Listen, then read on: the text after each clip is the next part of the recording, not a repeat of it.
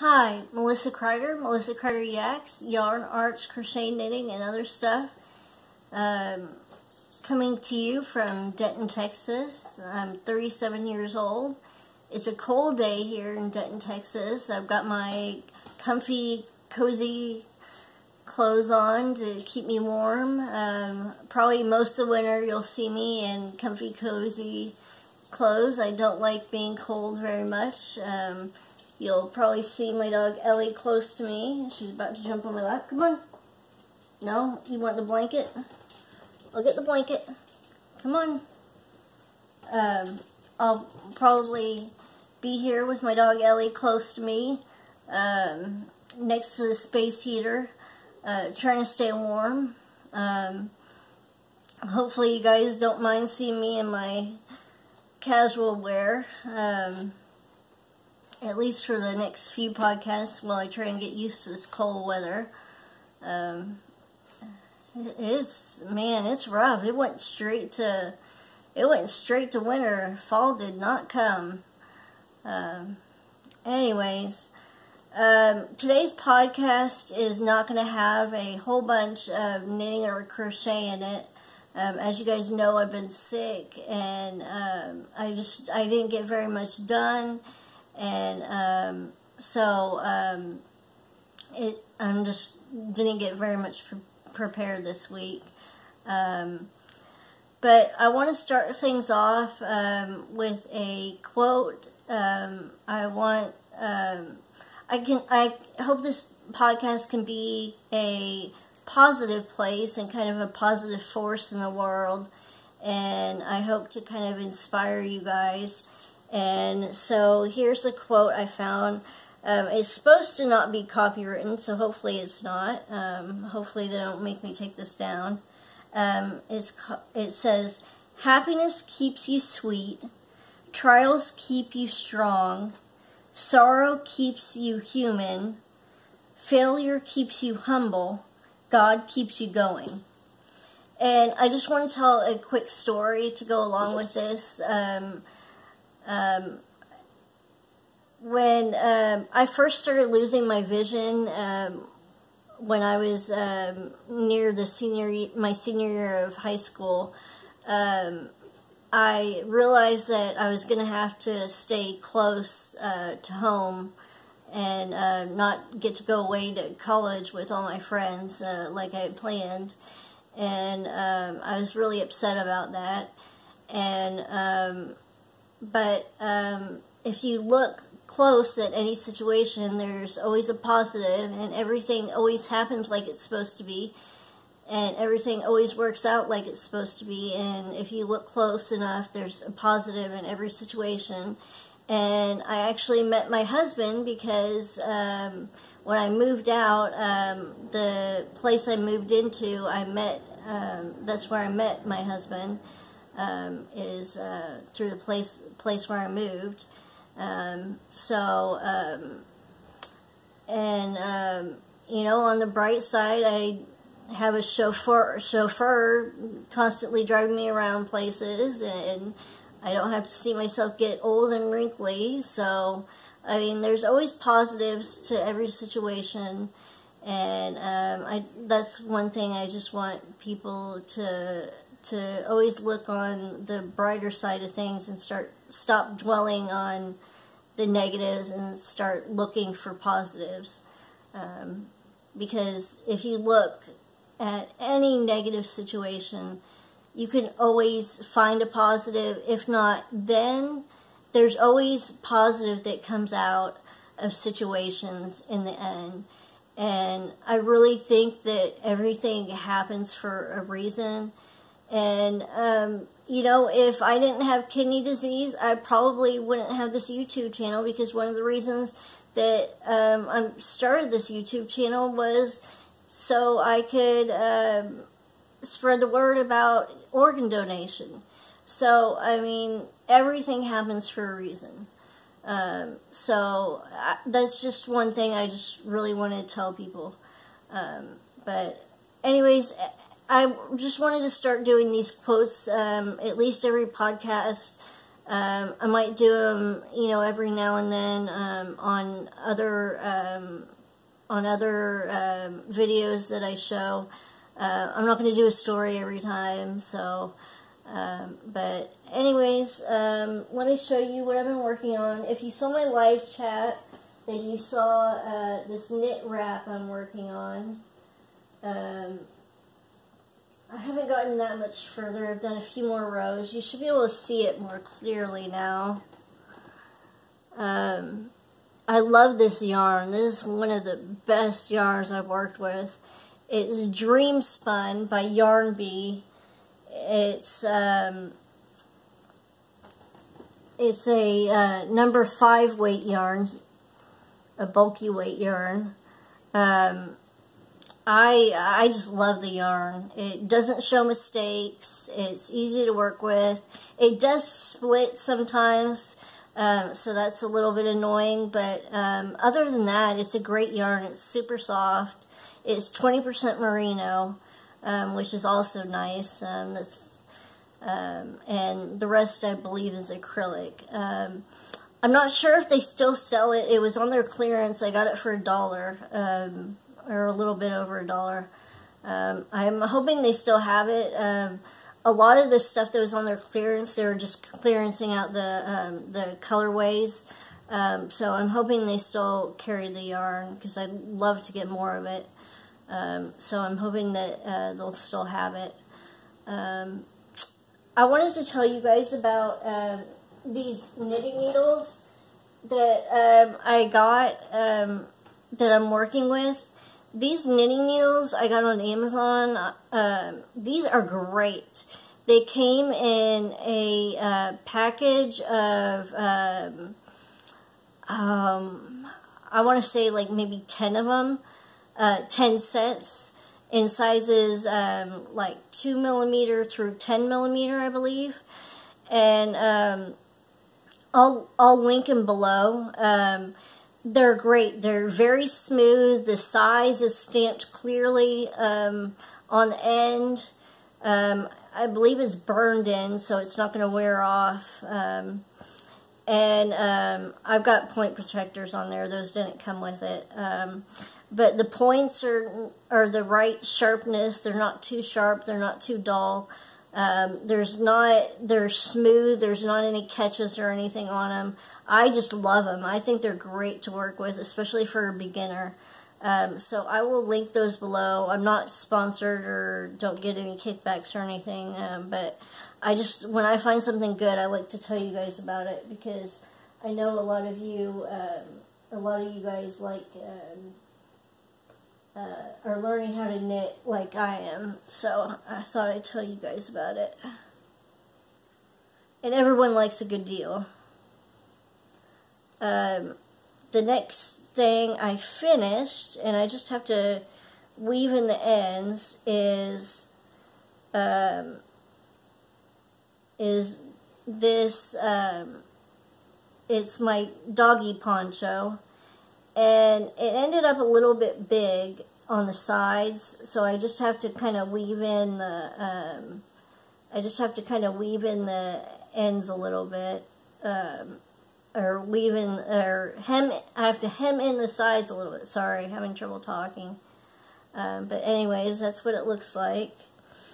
Um, the last row kind of went in a little, and it didn't go in that bad. I probably only missed like a stitch or two. Um, but because it was for my dog, and she's probably going to tear it up within a second of me putting it on her, I honestly didn't go. Normally, I would go back and totally re, redo it, but since she's probably going to scratch and tear it up right away, I just I left it and didn't redo it. Um, but I don't want you guys to think normally. Normally, I would redo it if I made a mistake. I wouldn't just leave it that way. So I don't want you guys to think like uh, my work is normally that bad. Normally, I fix mistakes when I make them, but I told myself I wasn't going to stress out over making a doggy poncho, you know, for my dog because, you know, she's honestly going to tear it up within a few minutes of wearing it because she has really severe allergies and she's constantly scratching. and I just, I know her, and I just know it's going to be a mess within probably five minutes of putting it on her. And um, I'm, I'm going to make her a um, scarf. Um, I think because um, she's honestly going to tear that up pretty quickly. Um, so I think I'm going to make her a scarf to go around her neck instead, um, just in case. That way if she tears that up, I have something as backup um, for the contest because I, I'm pretty sure she's going to tear that up right away. And I also have a uh, matching sombrero um, that goes with that. I was going to do the one that um, goes with it in the pattern, but um, I changed my mind because, like, I, I, think it might be a little too advanced for me. I'm still, I'm, I've been crocheting for a few months now, but a hat just really scares me. I don't know why, but the thought of doing a hat just scares me, and I'm running out of time before the uh, contest, and um, so I, I just thought it'd be easier just to buy a hat. Um, I will um, I will take a video of you guys of it for you guys um, of the two costumes together. I'm about to show you um, I started the other costume um, for the um, for my Basset Hound. Um, we should get a Foster soon. Um, for the Foster, I'm doing a triangle shawl, um, and so I started that. Um, there's that. so I started a triangle shawl, and it's going to be the same. it's going to be the same colors, and to match Ellie's costume and um, I decided to do a shawl for the Basset Hound because we're going to be getting in different Fosters, and um, they're going to be totally different sizes. And so I thought, you know, a shawl is going to be best because that way I can, it doesn't matter what size they are, you know, a shawl you can just wrap around them. So um, that's why I decided to do a shawl instead of a poncho. Um, I figured that would be better for sizing. Um, but um, the other thing I wanted to tell you about, um, and I got sidetracked, um, I started talking about my other projects. When I was talking about knitting needles, I meant to talk about these knitting needles also. this is a set by Premier Yarns. it's it goes from let's see, um, they're acrylic, and it's U.S. size 11 to U.S. size, I think, 3, and, uh, or U.S. size 4, I'm sorry, and, um, they're acrylic, the, um, they were only $32.99, um, the, um, I've used them, I've used them a few times now, the um, the connections seem like they're really good. Um, you know, um, they didn't. The only bad thing that I would really have to say about them is that um, they did not come with. Um, here's a closer look at them. Um, they did not come with, um, and they did not come with instructions. So if you're a beginner and you don't know what all, and they're interchangeable. Um, if you're a beginner, um, you know, you don't know what all the different parts are. Um, so I wanted to tell you guys about them, and I got them on Amazon. Uh, they were on sale at the time when I got them for $32.99. Um, so, um, I don't know if they're always that price. You know, Amazon, the prices go up and down so much. You know, you never know um, what the price is going to be. But um, I will link that below also if you guys are interested in that. Um, again, I don't get any kickbacks or anything, but um, I thought you guys might be interested in that. Um, the next thing is I wanted to get your guys' opinion on something. I've had this yarn for a while. It's a Walmart Mainstays yarn. It's a chunky, uh, chunky chenille Mainstays yarn. Here it is.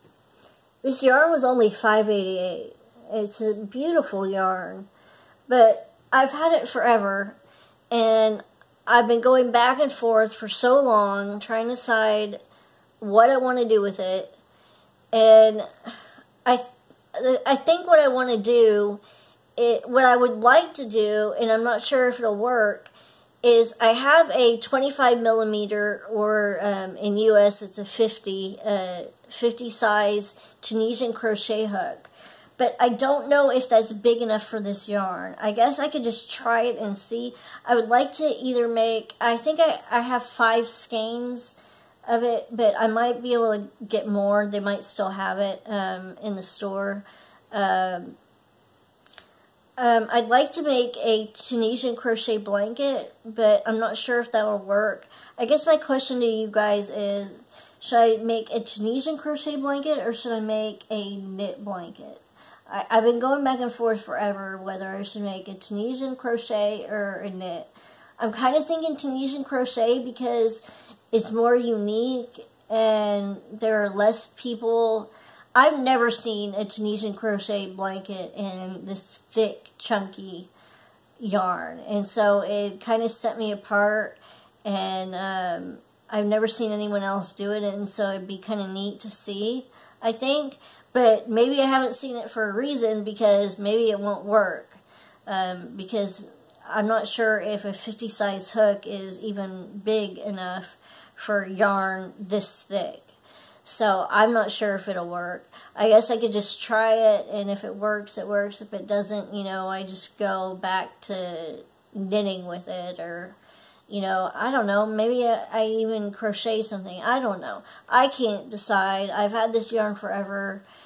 Let me know in the comments what you guys think I should do. Um, yeah, um, that's really all I have for today's show. Um, thank you guys so much for joining me. If you like today's show, um, subscribe to my channel. Please hit the like button. Um, uh, remember, you guys could save lives by checking that um, box on your driver's license that says that you'll be a organ donor, um, or by becoming a living organ donor. Um, thank you guys so much for joining me and happy crafting. Bye.